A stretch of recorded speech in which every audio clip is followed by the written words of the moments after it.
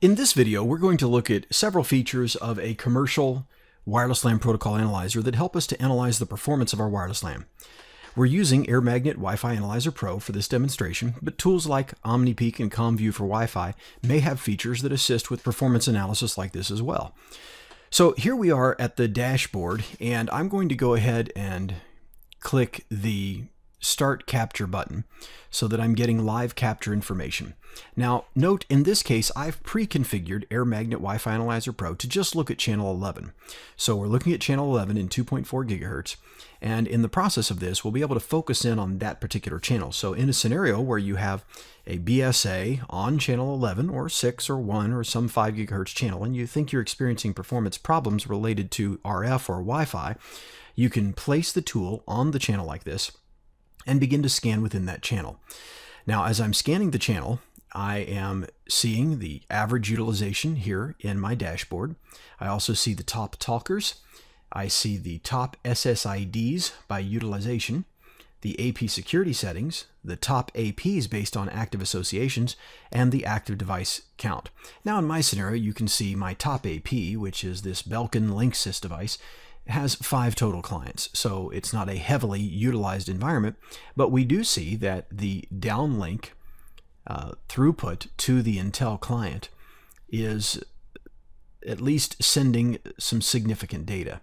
So this is my receive for this client. So when you're looking at this particular chart for top talkers, you'll note the legend gives you color codes for the individual devices. And then you will actually see that there's a gray bar beside of it. Well, the gray bar beside is the receive for that device. The blue is the transmit from that device. That is to say, the blue is what the device is sending to the AP, and the gray is what the AP is sending to the device. So I can see that the downlink is significantly higher. I can see my active devices as well here. So just this alone is beneficial in that I can see the SSIDs that are operating in the channel. So I can see four or five SSIDs that are operating in my channel.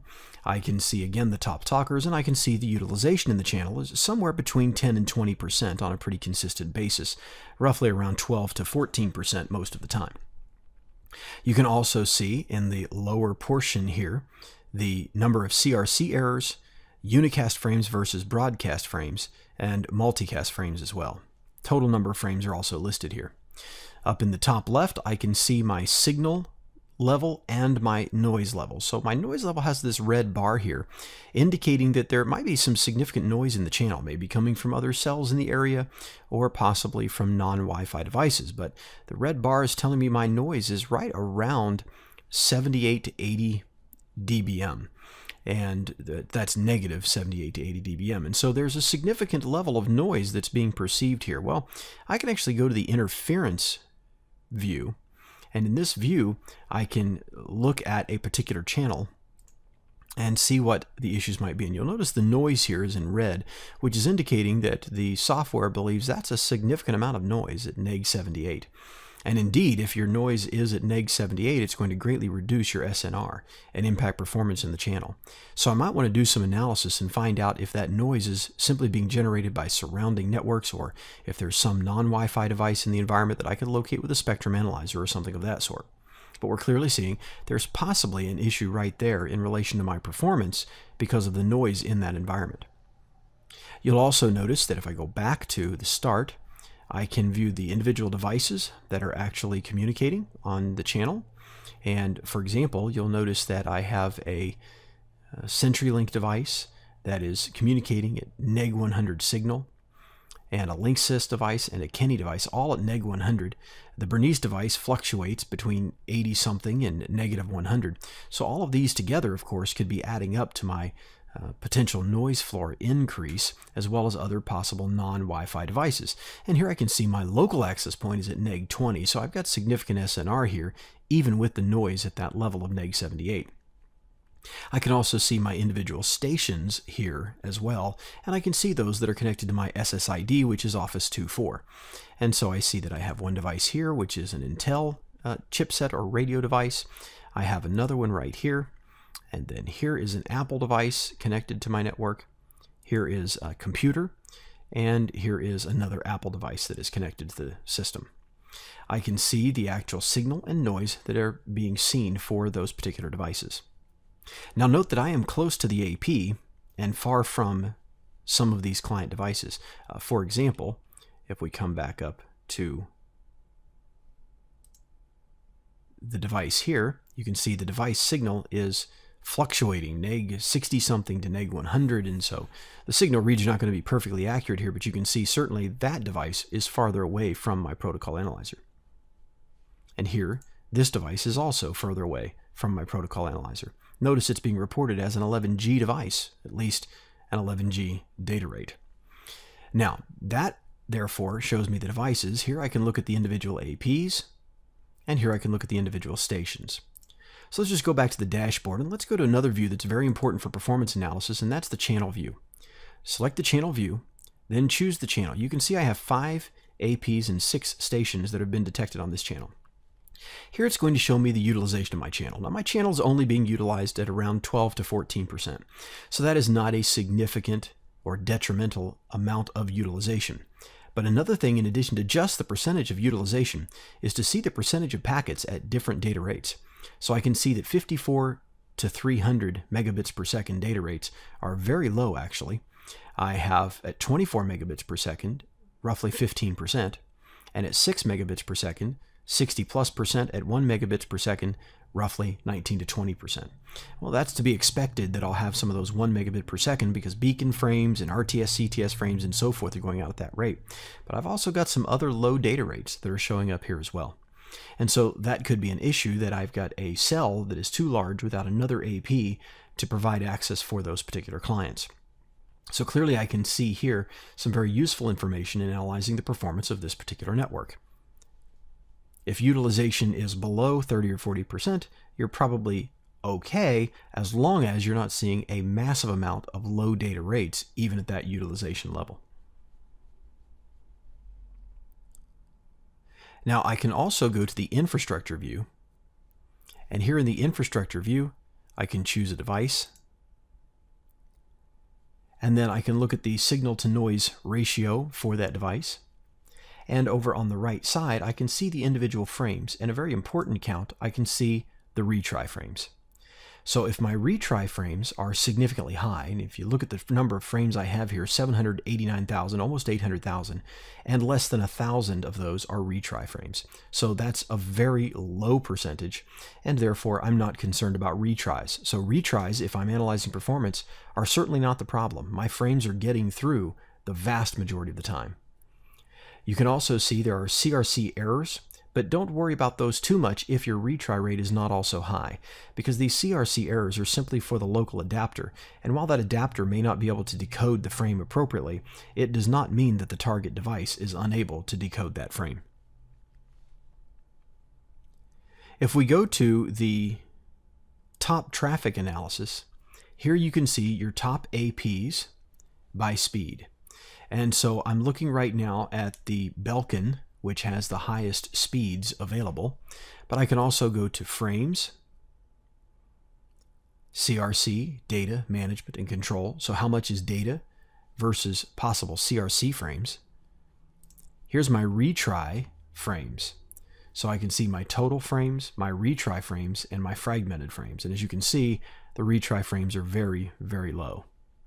I can also go to the top stations by speed, and I can see the Intel laptop is one of the top stations there by speed. I can see retries, so the Intel, again, very low, and indeed none of these stations have significantly high retries, so that's good. I can also go to just the top 10 devices and analyze that as well to see if there are any possible issues there. And again, we're not really seeing any performance issues in related to that. So we're still back to that noise issue, which may simply drive us to decide to put the AP on a different channel in this location.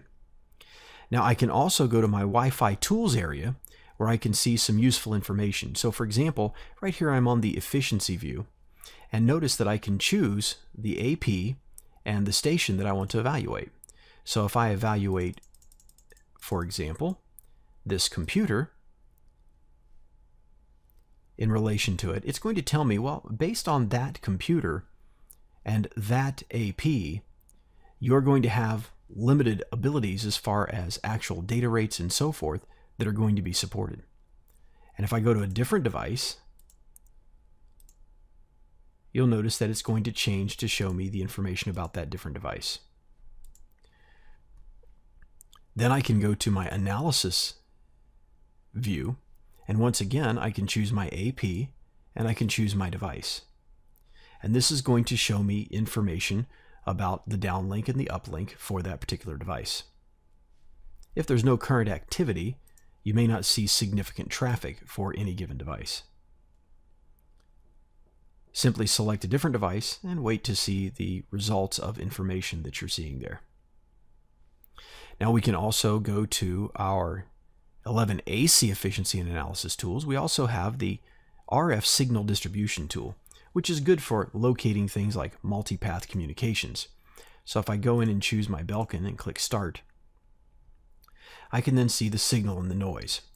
And what you ultimately want to see is that your signal is not distributed over the wide area, but rather is focused around the signal strength area. So for example, if I go to my stations and I choose one of these stations that is connected,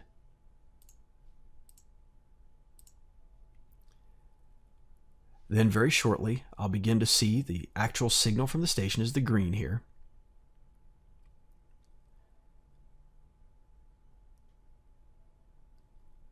And what you'll see is these yellow dots in addition. You want the yellow dots to stay around the signal when the signal is actually seen on the channel. If the yellow dots are dispersed away from it, it indicates that there may be some significant multipath. It looks pretty good in this case, so we'll click on Stop. You also have a diagnostic section where you can choose a station and an access point and run your diagnostics. It's going to let you know if it's seeing any data sent and received, and it will gather statistics for some period of time. You can simply let it run until it gets to 100%, and then it will give you the diagnostics. And basically, if there are problems getting frames through, things like that, it's going to report that information to you. So it's a great analysis function that allows you to determine if there may be some problems with that particular device. And so we'll let this go ahead and process and then speed through to the end. Okay, we have rapidly time-lapsed to the end of the process, and you can see that it just gives us a report saying if there's a problem, it must be a higher layer protocol problem, because at layer 2, at 802.11, the system observed a successful data packet exchange between the client station and the Belkin AP. So there may not be a wireless link layer problem, but there could be upper layer problems if you're still experiencing issues. So this is an excellent tool for a single client to an AP in diagnosing the possible communications issues. Now, of course, like any other protocol analyzer, you're also going to have the decodes view, where you can actually see the individual frames. So we'll stop the capture, allowing us to actually pause and take a look at a frame. So we can see a request to send frame, for example. And when you choose that, you can go down below and you'll be able to see signal strength and noise level. And this may or may not be accurate to the actual signal strength and noise of the environment, depending on the adapter that you're using for capture and things of that sort. I can see the data rate for this particular frame is 24 megabits per second in channel 11. And when I take a look at the MAC header in the frame control field, I can see if it's to the DS or from the DS and so forth. Is it a retry? And so then I see a clear to send and then a block acknowledgement. And we can scroll through and see eventually there's encrypted data. So notice that my data is going at 104 megabits per second in this case, MCS 13 for a 20 megahertz HT channel. I can see here that this one is also going at 104 megabits per second. And we can go on down through the list until we see various different devices that might be communicating on the network. So you can look at data, you can look at acknowledgement frames, and you can look at request to send, clear to send frames, and you can see beacon frames as well, as long as they're not filtered out of your capture. So this is the actual packet view, which of course you can do in Wireshark or any other tool. The power of these dedicated tools like AirMagnet Wi-Fi Analyzer Pro, CommView for Wi-Fi, and OmniPeek is that they're going to give you experts that summarize information for you. So packet analysis itself looking at the individual packets is not much different here in these tools than it is in Wireshark.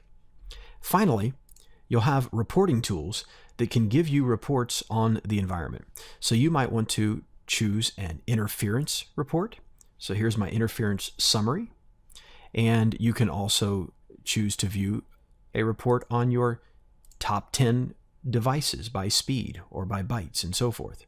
You can also look at compliance reports, and you can see there's an RF summary report here as well, an AP list, a station list, and all of these reports are simply generated for you automatically.